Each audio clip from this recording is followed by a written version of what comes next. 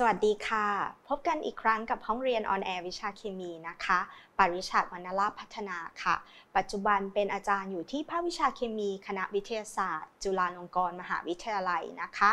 วันนี้เราจะมาคุยกันต่อเรื่องของสมดุลเคมีค่ะ ซึ่งเป็นตอนที่ 2 กันแล้วนะคะ โดยหัวข้อที่เราคุยค้างกันไว้จากคราวที่แล้วเนี่ยคือเรื่องของค่าคงที่สมดุล หรือเรื่องของ equilibrium constant หรือค่า K นะคะ โดยเราค้างกันไว้ว่า เรากำลังพูดถึงเรื่องของความสัมพันธ์ระหว่างค่า Kp ซึ่งเป็น K ที่เขียนในหน่วยของความดัน เทียบกับค่า Kc นะคะ ซึ่งเป็นการเขียนค่า K ในหน่วยของความเข้มข้น โดยความสัมพันธ์ของ Kc และ Kp เนี่ยเป็นดังนี้นะคะ ว่า Kp เนี่ยเท่ากับ Kc คูณอยู่กับ RT ทั้งหมดยกกำลังเดลต้า n ยเดลต้า n เนี่ยก็คือผลรวมของสัมประสิทธิ์ของผลิตภัณฑ์ที่เป็นแก๊ส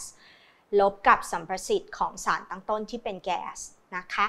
เราค้างกันไว้ที่ที่มาของสมการนี้นะคะซึ่งมาจากการพิจารณาความสัมพันธ์ PV เท่ากับ nRT นะคะซึ่งเป็นสมการหลักของแก๊สอุดมคติกันนะคะนะคะถ้าเรามาดูกันว่าจาก PV เท่ากับ nRT แล้วเราย้ายข้าง B ไปนะคะ n คือจำนวนโมล v คือปริมาตรจำนวนโมลต่อปริมาตรก็คือความเข้มข้นนะคะ ดังนั้นเราก็จะได้ว่า p เท่ากับ CRT โดย R คือค่าคงที่ของแก๊สหรือ gas constant T คืออุณหภูมิในหน่วยของเคลวินนะคะ เราจะเห็นว่า P เนี่ยแปรผันตรงกับ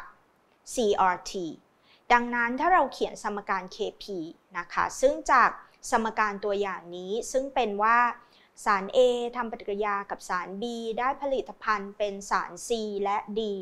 โดยมี lowercase a b c และ d เป็นสัมประสิทธิ์ ปริมาณสัมพันธ์ของสาร A B C และ D ตามลำดับนะคะ เราอยากแปลง Kp ไปเป็น Kc นะคะ เพราะฉะนั้นจาก P เท่ากับ CRT เนี่ยเราแทนค่าเข้าไปนะคะ เราจะได้ออกมา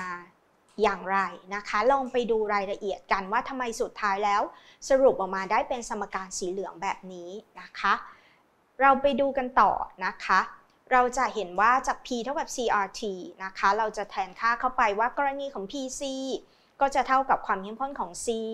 คูณ rt นะคะ ทั้งหมดยกกำลัง lowercase c นะคะ เจ้า PD ยกกำลัง d ก็จะกลายเป็นความเข้มข้นของ d คูณ rt ทั้งหมดยกกำลัง d PA ยกกำลัง A ก็จะกลายเป็นความเข้มข้นของ ART ยกกำลัง A นะคะ และ PB ยกกำลัง B ก็จะกลายเป็นความเข้มข้นของ B คูณ RT ยกกำลัง B พอเราได้แบบนี้ออกมานะคะ เราจะดึงฝั่งที่เป็นความเข้มข้นมาอยู่ใกล้กัน เพื่อรวมมันเป็น K4 นะคะ เราก็จะได้ออกมาแบบนี้ค่ะ เราจะดึง C ความเข้มข้นของ C นั่นเอง ยกกำลัง C คูณกับความเข้มข้นของ D ยกกำลัง D หารด้วยความเข้มข้นของ A ยกกำลัง A คูณกับ B ยกกำลัง B แบบนี้นะคะ แล้วเราก็จัดพจน์ของ RT ไว้อยู่ด้านขวานะคะ ก็จะได้ออกมาแบบนี้ว่าเป็น RT ยกกำลัง C คูณกับ RT ยกกำลัง D หารด้วย RT ยกกำลัง A คูณกับ RT ยกกำลัง B ด้านหน้ารวบมาเป็น KC ถูกต้องไหมคะ ส่วนด้านหลังมันคือพจน์ของ rt ทั้งหมดยกกำลัง c บวก d ลบ a ลบ b ซึ่งก็คือเดลต้า n ที่ว่าเป็น c บวก d ลบด้วยการเอา a บวก b นั่นเองนะคะ อันนี้เป็นที่มาหรือวิธีการแสดงเห็นว่าทำไมเราได้ความสัมพันธ์ว่า kp เท่ากับ kc คูณอยู่กับ rt ทั้งหมดยกกำลังเดลต้า n นะคะ ทีนี้ คำถามต่อไปคือจำเป็นต้องจำสมการนี้ไว้นะหรือไม่นะคะ ถ้าเกิดจำกันได้มันก็จะสะดวกในการคำนวณนะคะ แต่ว่าถ้าเกิดสมมติว่าเราจำไม่ได้ขึ้นมา ก็ไม่ได้ยากอะไรใช่ไหมคะ ก็สามารถไล่จากความสัมพันธ์ PV เท่ากับ nRT หรือ P เท่ากับ CRT ได้แบบนี้นะคะ ลองไปทำโจทย์กันค่ะ โจทย์ข้อนี้นะคะให้พิจารณาปฏิกิริยาระหว่าง CO หรือคาร์บอนมอนอกไซด์กับไดไฮโดรเจนหรือ H2 ที่เกิดเป็นผลิตภัณฑ์เมทานอลหรือ CH3OH ที่อุณหภูมิ 220.00 องศาเซลเซียส ค่าคงที่สมดุลแบบ Kc อะในหน่วยความเข้มข้นเนี่ยบอกให้ว่ามีค่าเท่ากับ 10.5 อยากให้เราหา Kp ที่อุณหภูมินี้ค่ะ ที่ 220.00 องศาเซลเซียสนะคะ โดยโจทย์ให้สมการมาค่ะ แต่ถ้าไม่ให้มาจากประโยคในโจทย์ก็สามารถเขียนสมการว่าปฏิกิริยานี้เกิดได้อย่างไรนะคะ ซึ่งในที่นี้ 1 CO บวก 2 H2 ได้เป็นผลิตภัณฑ์เมทานอลนะคะ ทั้งสารตั้งต้นและผลิตภัณฑ์เป็นแก๊สทั้งหมดนะคะ ทีนี้เริ่มต้นเลยเราก็รู้ว่าในการแปลงค่า Kc กับ Kp เนี่ย เราต้องอาศัยสมการนี้นะคะ ซึ่ง Kp เท่ากับ Kc คูณอยู่กับ RT ทั้งหมดยกกำลังเดลต้า n อะเราก็จะมาค่อยๆหาค่ะว่าแต่ละค่าคืออะไร เริ่มต้นเดลต้าเอนนะคะ ฝั่งผลิตภัณฑ์มี 1 เมทานอลเนาะ เพราะฉะนั้นก็คือ 1 นะคะสัมประสิทธิ์ฝั่งสารตั้งต้นมี 1 CO มี 2 ไฮโดรเจน เพราะฉะนั้นรวมกันเป็น 3 1ลบ3เป็นลบ2ค่ะ แสดงว่าเดลต้าเอนเป็นลบ2 T นะคะ โจทย์ให้มา 220.00 เพราะฉะนั้นเราต้องบวกด้วย 273.15 ก็จะได้ออกมาว่าอุณหภูมิในหน่วยเคลวินคือ 493.15 เคลวินนะคะ ต่อมาค่ะ ค่า R ก็คืออย่าลืมว่าจะต้องใช้หน่วย R ที่เป็นลิตร ATM ต่อเคลวินนะคะ ซึ่งมีค่า 0.0821 นะคะ ส่วนใหญ่เราจะคุ้นเคยกับ R อีกค่าหนึ่ง ซึ่งก็คือมีหน่วยเป็นจูลกับคูณกับแฟกเตอร์อื่นๆนะคะ ซึ่งค่านั้นก็คือจะเป็น 8.314 ซึ่งเราจะใช้ในกรณีที่เราไปคำนวณเมื่อเกี่ยวข้องกับ energy มีพจน์ของจูลมาเกี่ยวข้องนะคะ นอกจากนั้นจากโจทย์ให้มาว่า kc เท่ากับ 10.5 ได้ข้อมูลครบแล้ว เหลือแต่แทนค่าเพื่อคำนวณหาค่า kp นะคะ ก็แทนค่าเข้าไปนะคะว่า kp เท่ากับ 10.5 คูณอยู่กับ 0.0821 คูณกับ 493.15 2พ้นหลังยกกำลังลบ 2 นะคะ กดเครื่องคิดเลขออกมาจะได้คำตอบออกมาว่า Kp มีค่าเท่ากับ 6.41 คูณ 10 ยกกำลังลบ 3 นะคะ โจทย์ลักษณะนี้เนี่ย จุดที่จะพลาดกันนะคะ ก็จะมีว่าลืมแปลงหน่วยของอุณหภูมินะคะ ก็คือยังใช้เป็นเซลเซียสอยู่คำนวณมาค่าก็จะไม่ถูกต้องนะคะ หรือว่าบางทีอาจจะเผลอใช้ r ผิดค่านะคะ ไปใช้ 8.314 คิดเดลต้า n ผิดอะไรแบบนี้นะคะ เพราะฉะนั้นเวลาคำนวณก็เช็คข้อมูลเหล่านี้ให้ดี การดูหน่วยของค่าคงที่ต่างๆนะคะ ก็เป็นตัวช่วยที่ดีนะคะ เพราะว่าถ้าเราเห็นหน่วย r เราจะรู้แล้วว่าเออเราจะต้องใช้ อุณหภูมิเควินนะ เราจะมาใช้เซลเซียสกันตรงไปตรงมาไม่ได้นะคะ นอกจากนั้นในโจทย์ข้อนี้เนี่ยในการคำนวณเนี่ยยังคำนึงถึงเรื่องของเลขในยสำคัญ หรือว่า significant figures ด้วยนะคะ เป็นการคูณหาร เพราะฉะนั้นเนี่ยค่าเลขในยสำคัญของคำตอบเนี่ยจะเท่ากับตัวเลขที่มีโจทย์ให้มา แล้วก็มีเลขในยสำคัญน้อยที่สุดนะคะ ซึ่งในที่นี้เนี่ย KC มีเลขในยสำคัญ 3ตำแหน่ง นะคะค่า r ก็มี 3 ตำแหน่งด้วยกัน 821 นะคะ ส่วนค่า t นะ convert มาแล้วมีทั้งหมด 5 ตำแหน่ง แต่อย่างไรก็ตามเอามาคิดเลขแล้ว ก็ต้องยึด 3 ตำแหน่ง ซึ่งมีเลขในยาสำคัญน้อยที่สุดทำให้คำคำตอบก็จะเป็นแค่ 6.41 คูณ 10 ยกกำลังลบ 3 นะคะ ก็จะเป็นค่า k ในหน่วยความดันที่โจทย์ตามหา เพื่อให้คุ้นเคยกับโจทย์ลักษณะนี้นะคะ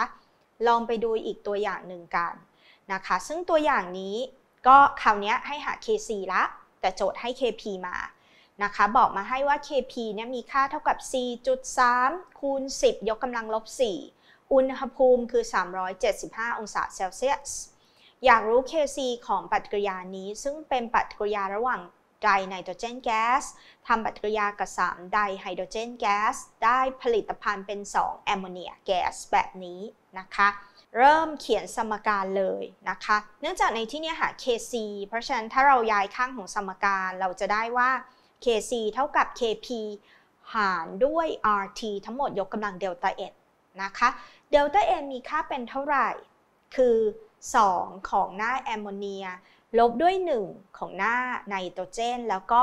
3 ของหน้าไฮโดรเจน ถูกต้องไหมคะ เพราะฉะนั้นจะได้ออกมาว่าเดลต้า M มีค่าเป็นลบ2 T ก็แปลงซะจาก 375 บวกด้วย 273 เข้าไปนะคะ ก็จะได้ออกมาว่าอุณหภูมิในหน่วยเคลวินเป็น 648 นะคะ ค่า R ใช้ค่าเดิมจุด0821 ลิตร ATM ต่อเคลวินส่วน KP โจทย์ให้มานะคะ 4.3 คูณ 10 ยกกำลังลบ 4 แทนค่าค่ะ ก็จะได้ออกมาว่า KC เท่ากับ KP ซึ่งก็คือ 4.3คูณ10 ยกกำลังลบ 4 หารด้วยการเอา 0.0821 คูณกับ 648 ทั้งหมดยกกำลังเดลต้า n ซึ่งก็คือลบ 2 นะคะ กดเครื่องคิดเลขค่ะ คิดออกมาแล้วได้ออกมาว่า KC มีค่าเป็น 1.2นะคะก็จะเห็นว่าโจทย์แบบนี้ก็จะใช้ในการเปลี่ยนระหว่าง KC และ KP และจากความสัมพันธ์เนี้ย ก็จะเห็นว่า KC กับ KP มีค่าไม่เท่ากันถูกต้องไหมคะ อย่างไรก็ตามนะคะ ถ้าดูสมการนี้ มันจะมีภาวะหนึ่งค่ะ ที่ KC และ KP เท่ากันอะให้เวลาลองดูนิดนึงนะคะว่าเมื่อไหร่ KC และ KP ควรจะเท่ากันนะคะ ถ้าดูจากสมการจะเห็นว่า Kc และ Kp จะต้องเท่ากันก็ต่อเมื่อพจน์ Rt delta n เนี่ยมีค่าเป็น 1 นะคะ แล้วเมื่อไหร่ Rt ยกกำลังอะไรจะมีค่าเป็น 1คะก็คือยกกำลัง 0 นั่นเอง แสดงว่าเมื่อไหร่ก็ตาม delta n เป็น 0 นะคะ เมื่อนั้น Kc กับ Kp จะมีค่าเท่ากันนะคะ หรือเมื่อใดก็ตามสัมประสิทธิ์ฝั่งผลิตภัณฑ์ที่เป็นแก๊ส เท่ากับสัมประสิทธิ์ฝั่งสารตั้งต้นที่เป็นแก๊ส เมื่อนั้นนะคะ Kc และ Kp จะเป็นค่าเดียวกันนะคะ ซึ่งเราดูได้จากความสัมพันธ์ของสมการนี้ นะคะ ทีนี้ตอนนี้เรารู้จักแล้วว่าเราสามารถเขียนค่า K ของสมการที่มีสารที่มีเฟสเดียวกันได้นะคะ ก็คือมีแก๊สอยู่ เขียนได้เป็นทั้ง K ในรูปแบบความเข้มข้นและ K ที่เป็นความดัน ทีนี้เรามาลองเขียนค่า k ของสมการอีกแบบหนึ่งนะคะ ที่มีสารที่เกี่ยวข้องมากกว่า1เฟสกัน อันนี้เรียกว่า heterogeneous heterogeneous แปลว่ามากกว่า1เฟสนะคะ อันนี้คือเรากำลังพูดถึงสมดุลวิวิธพันธ์หรือว่า heterogeneous equilibrium นะคะ ตัวอย่างคือสมการแสดงปฏิกิริยานี้นะคะ iron 2บวกเป็นไอออนในสารละลายเนาะ เพราะฉะนั้นในวงเล็บจะเป็น AQ แทนคำว่า aqueous solution นะคะ บวกด้วย silver บวก AQ ได้ผลิตภัณฑ์เป็น iron 3บวก AQ บวก silverนะคะ ซึ่งเป็นของแข็ง แปลว่าในสมการนี้มีสารอยู่ด้วยกัน2เฟส พวกที่เป็นไอออนเป็น AQ นะคะ แล้วก็พวกที่เป็นโซลิดนะคะ ซึ่งตัวสุดท้ายนั่นเองก็คือเหล็กขอโทษค่ะ ซึ่งก็คือ AG ซึ่งเป็นเงินนะคะ เวลาที่เราเขียนค่า K เราคุยกันแล้วว่า ถ้าเราเขียนค่า K เราจะไม่เขียนพจน์ของของแข็งของเหลวและของตัวทำละลาย แปลว่าเราจะไม่เขียนพจน์ของ AG ที่เป็น solid ถูกต้องไหมคะ เพราะฉะนั้นในกรณีนี้ถ้าเราเขียน KC ออกมา KC จะได้ว่าเป็นความเข้มข้นณภาวะสมดุลของ iron 3บวกหารด้วยความเข้มข้นณภาวะสมดุลของ iron 2บวกและความเข้มข้นณภาวะสมดุลของ silver บวกนั่นเองนะคะ เพราะฉะนั้นเวลาเขียนสมการค่า K สิ่งสำคัญเลย ต้องดูในวงเล็บด้วยนะคะว่าสารเป็นเฟสใดจำเป็นไหมจะต้องเขียนลงไปในการคำนวณนะคะ เพราะว่าเมื่อเรารู้ค่า K แล้ว เราก็สามารถบอกได้แล้วว่าณภาวะสมดุลจะมีสารตั้งต้นเท่าไหร่ มีผลิตภัณฑ์เท่าไหร่นะคะทีนี้ในการเขียนค่า k เนี่ยเพิ่มเติมนะคะ เราจะต้องมีสมการวางอยู่ข้างๆด้วย ซึ่งสมการดังกล่าวเนี่ยก็จะต้องเป็นสมการที่ดุลแล้ว สาเหตุที่จะต้องเขียนสมการไว้ข้างๆเนี่ยเพราะแบบนี้นะคะ ดูตัวอย่างของปฏิกิริยานี้กันว่า สาร A เนี่ยมันสามารถรวมกันไปเป็นไดอะตอมิกโมเลกุลได้นะคะ เป็น A2 สมการบนและสมการล่างขอเรียกว่าสมการที่ 1 และสมการที่2เนี่ยจริง ๆ แล้วคือสมการแสดงปฏิกิริยาเดียวกัน เพียงแต่ว่าสัมประสิทธิ์ของสมการที่1เนี่ยจะมีค่าเป็นครึ่งหนึ่งของสัมประสิทธิ์ของสมการที่ 2 ถูกต้องไหมคะ เพราะว่าสมการที่ 1 เป็น 2A เกิดเป็นผลิตภัณฑ์ โมเลกุลของ A2 ในขณะที่สมการที่2เนี่ยคือ 4A เกิดไปเป็นผลิตภัณฑ์ที่เป็นโมเลกุลของ A2 2 ตัวนะคะ ถ้าเราเขียน K1 และเขียน K2 เขียนมาแล้วมันไม่เท่ากันถูกต้องไหมคะ เรามาดูตัวอย่างนี้กันให้ชัดเจน ถ้าเขียน K1 จะได้ว่าเป็นความเข้มข้นของโมเลกุล A2 ยกกำลัง 1 หารด้วยความเข้มข้นของ A ยกกำลัง 2 ในขณะที่ถ้าเราเขียน K2 ของสมการที่ 2 เนี่ย เราจะได้ว่า K2 มีค่าเท่ากับความเข้มข้นของโมเลกุล A2 ยกกำลัง 2 หารด้วยความเข้มข้นของสาร A ยกกำลัง 4 เห็นไหมคะว่า K1 กับ K2 ไม่เท่ากัน แปลว่าอะไร แปลว่าเวลาเราเขียนค่า K เราต้องระบุสมการด้วยนะคะ เพราะว่าสัมประสิทธิ์ปริมาณสัมพันธ์ส่งผลต่อค่า K ที่เราใช้ในการคำนวณนะคะ นอกจากนั้นนะคะ ถ้าเราพิจารณาปฏิกิริยาหนึ่งที่มันเกิดปฏิกิริยาในทิศไปข้างหน้าและย้อนกลับนะคะ เราพบว่าผลคูณของ k ในทิศไปข้างหน้า กับ k ในทิศย้อนกลับมีค่าเป็น1นะคะ จริงๆ อันนี้เนี่ยก็ถ้าเรานึกภาพตามเราก็พอนึกออกนะคะ เพราะว่าการเขียนค่า k ในทิศไปข้างหน้ากับย้อนกลับเนี่ยมันคือเอาพจน์เดียวกันอะแต่เปลี่ยนสลับตัวหารตัวคูณกัน ต้องไหมคะ ดังนั้นมันก็เลยถ้านำ k ของสองค่ามาคูณกัน มันก็จะต้องเท่ากับ 1 แหละพราะพจน์มันจะถูกตัดกันออกไปนะคะ แต่เพื่อเห็นชัดเจนมาดูตัวอย่างนี้กันนะคะ ปฏิกิริยา 2A เกิดไปเป็นผลิตภัณฑ์โมเลกุลของ A2 เขียนได้ว่า K1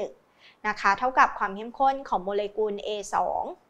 ยกกำลัง 1 หารด้วยความเข้มข้นของ A ยกกำลัง2 นะคะ ในที่ย้อนกลับเราเขียนได้ว่า A2 เนี่ยมันเกิดการเปลี่ยนแปลงกลับมาเป็น 2 ของสาร A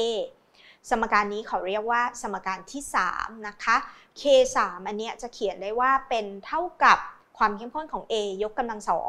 หารด้วยความเข้มข้นของโมเลกุล A2 นั่นเอง ถ้าเอา K1 คูณ K3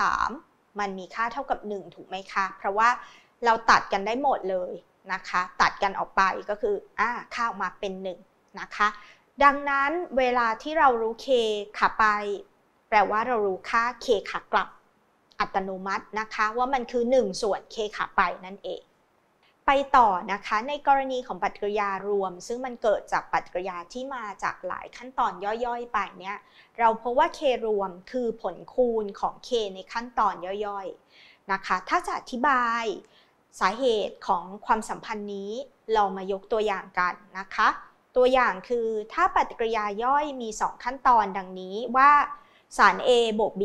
ได้เป็นผลิตภัณฑ์ C บวก D อันนี้เป็นสมการที่ 1 ปฏิกิริยาย่อยที่ 1 ขอเรียกว่า K1 ต่อมาคือ C บวก D นะคะได้เป็นผลิตภัณฑ์ E บวก F อันนี้คือปฏิกิริยาที่ 2 สมการย่อยที่2ขอเรียกว่า K2 ปฏิกิริยารวมคือเมื่อเอา 2 สมการนี้มารวมกัน เราจะเห็นว่าเราสามารถตัด C และ D ออกได้ เพราะว่าสมการบนมันอยู่ฝั่งขวา สมการล่าง c และ d อยู่ฝั่งซ้าย ตัดกันทิ้งจะได้ว่าสมการรวมคือ a บวก b ได้เป็นผลิตภัณฑ์ e บวก f อันนี้คือ k รวม เราบอกว่า k รวมเป็นผลคูณของ k 1และ k 2เป็นอย่างนี้ได้อย่างไรก็มาแทนค่ากันเลยนะคะ k 1เนี่ยหาได้ออกมาว่าเป็น ความเข้มข้นของ c คูณ d หารด้วย a คูณ b อะ k 2คือความเข้มข้นของ e คูณ f หารด้วยความเข้มข้นของ C คูณกับความเข้มข้นของ D นะคะ K รวมคืออะไร K รวมถ้าดูจากสมการเขามันคือการเอาความเข้มข้นของ E คูณกับความเข้มข้นของ F หารด้วยความเข้มข้นกับ A และความเข้มข้นของ B ถูกไหมคะ ถ้าเราเอา K1 มาคูณ K2 เราจะพบว่าเราสามารถตัดพจน์ความเข้มข้นของ C และ D ออกไปได้ นะคะ เพราะว่าใน K1 มันอยู่ด้านบน ใน K2 มันอยู่ด้านล่างนะคะ เป็นตัวหารแบบนี้ ดังนั้นมันก็เป็นสาเหตุว่าทำไม K รวมเนี่ยมาจาก K ของขั้นตอนย่อยๆ คูณกันนะคะ อันนี้ก็แสดงให้เห็นตัวอย่างชัดเจน ซึ่งความสัมพันธ์เนี้ยก็ใช้ประโยชน์ในการคำนวณนะคะ ที่เราจะเจอกันต่อๆไปในเรื่องของสมดุลนั่นเอง ค่า K เนี่ย นะคะ มันเป็นค่าที่บอกเราว่า ณภาวะสมดุล จะมีสารตั้งต้นมาก หรือสารตั้งต้นน้อย จะมีผลิตภัณฑ์มากหรือน้อยเพียงใด แต่ไม่ได้บอกว่าปฏิกิริยาเกิดเร็วหรือช้า ตัวที่บอกว่าเกิดเร็วหรือช้าเราพูดกันมาแล้วนะคะ มันคือเรื่องของ reaction rate นะคะ K จะบอกให้เรารู้ว่ามันมีสารตั้งต้นมากก็ต่อเมื่อ K นั้นมีค่าน้อย นะคะ ทีนี้คำถามคือไอ้น้อยที่ว่าคือค่าไหน เราบอกว่าเราใช้เกณฑ์แบบนี้ค่ะ เนื่องจากว่า K เนี่ยมันเป็นอัตราส่วนของความเข้มข้นของฝั่งผลิตภัณฑ์ต่อสารตั้งต้น ดังนั้นเรามองว่าตรงกลางมันคือเมื่ออัตราส่วนดังดังกล่าวเท่ากัน หรือเมื่ออัตราส่วนดังกล่าวเท่ากับ 1 ก็คือมีความเข้มข้นของผลิตภัณฑ์ และสารตั้งต้นรวมๆเนี่ยเท่ากัน เพราะฉะนั้นเราจะใช้ตัวเลข 1 เป็นเป็นเหมือนกับเกณฑ์เป็น boundary ค่ะ เมื่อไหร่ก็ตาม K มีค่าสูงสูงหรือมากกว่า1แสดงเห็นว่าพจน์ความเข้มข้นของผลิตภัณฑ์มีค่าสูงมากเมื่อเทียบกับฝั่งสารตั้งต้น ก็แสดงเห็นว่าณภาวะสมดุลจะมีผลิตภัณฑ์อยู่เยอะเมื่อเทียบกับสารตั้งต้น แสดงว่าสมดุลเนี้ยเลือกที่จะเคลื่อนที่ไปในฝั่งที่เป็นผลิตภัณฑ์ หรือเคลื่อนที่ไปในฝั่งซ้ายไปขวาหรือไปข้างหน้านะคะ แต่ถ้าเคมีค่าน้อยๆ น้อยที่ว่าคือน้อยกว่าหนึ่ง ก็แสดงว่าพจน์ความเข้มข้นของสารตั้งต้น มีค่าเยอะกว่าผลิตภัณฑ์มาก ๆ นะคะ แบบนี้ก็คือสมดุลเนี่ยชอบที่จะอยู่ในฝั่งสารตั้งต้น หรือว่าสมดุลเนี่ยชอบที่จะเกิดในทิศย้อนกลับมากกว่านะคะ แบบนี้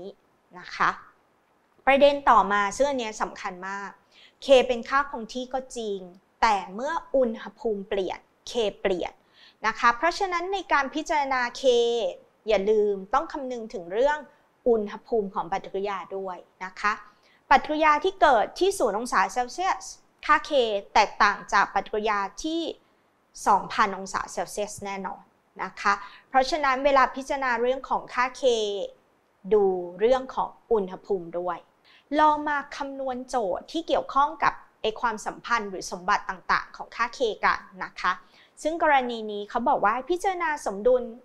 อันนี้นะคะที่มีสาร A เปลี่ยนไปเป็นผลิตภัณฑ์ B เรียกว่าสมการที่ 1 K1 มีค่าเท่ากับ A ตัวเล็กนะคะ สมการที่ 2 คือสาร D เปลี่ยนไปเป็น E K2 อันนี้ให้เรียกว่าสมการที่ 2 เนาะ K2 มีค่าเท่ากับ B โจทย์อยากให้เราหาค่า K สำหรับปฏิกิริยาของสาร A บวก E แล้วก็ได้เป็นผลิตภัณฑ์ B บวก D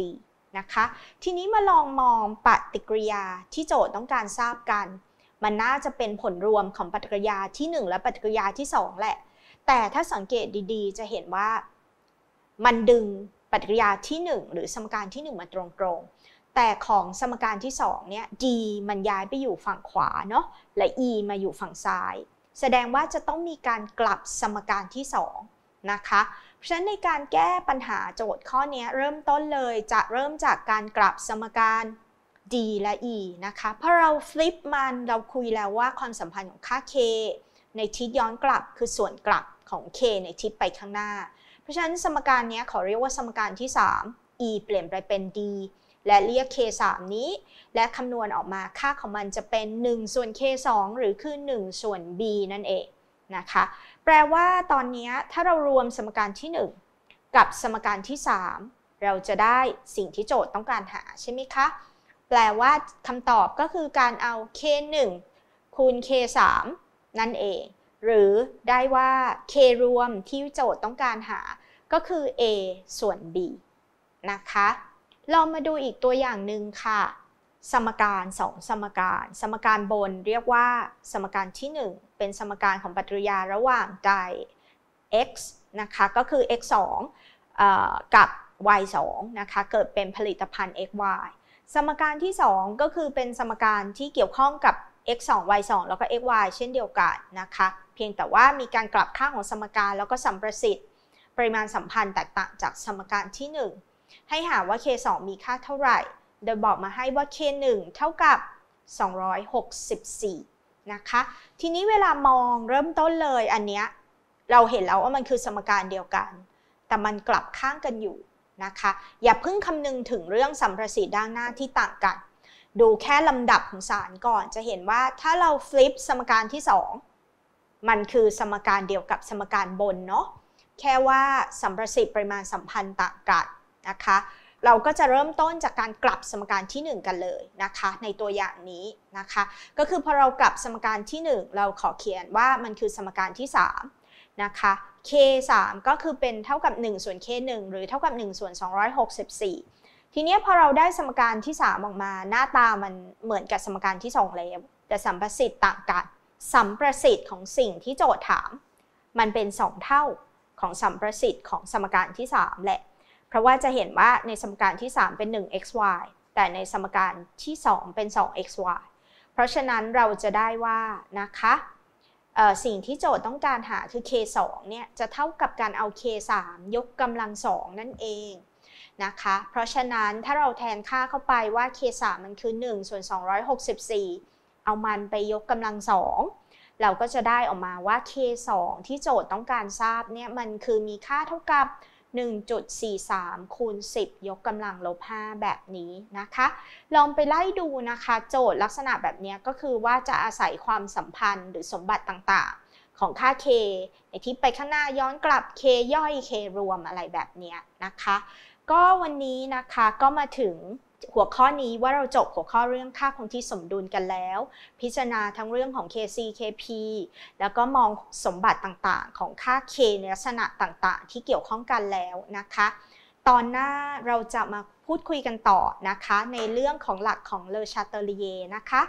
สำหรับวันนี้ก็ขอจบเรื่องห้องเรียน on air วิชาเคมีตอนสมดุลเคมี 2 ไว้แต่เพียงเท่านี้นะคะ สวัสดีค่ะ